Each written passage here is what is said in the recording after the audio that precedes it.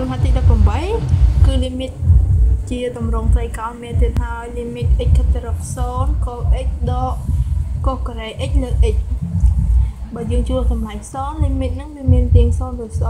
0 limit ទៀង0ទៅ0យើងត្រូវចាប់យកមួយកតាដើម្បីសម្រួលហើយជំនួសតម្លៃលេខអញ្ចឹង limit x ខិតទៅរក0អានេះយើងឃើញថាកូការ៉េនេះកូអញ្ចឹងយើងចាប់កូជាកតាមកកូ x ជាកតា យើងចាប់ចុះកូ x ជាកតាយើងនឹងសល់1ដកកូ x បើសិនជាគុណបញ្ចូលវិញបានជាកូ x ដកកូការ៉េ x ដូចដើមអញ្ចឹងនៅលើ x អានេះយើងត្រូវបន្តាច់ភាគបែងដើម្បីចូលជារៀងមួយគឺរៀង1ដកកូ x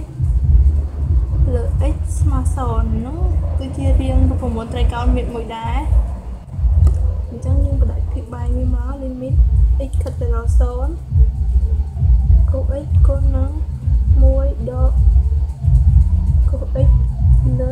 x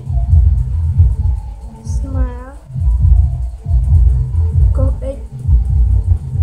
អឺ1ដកកូ x លើ x វារូបមន្តវាគឺស្មើ0អញ្ចឹងគុណនឹង0អឺដោយសារកូ0កូ0ស្មើ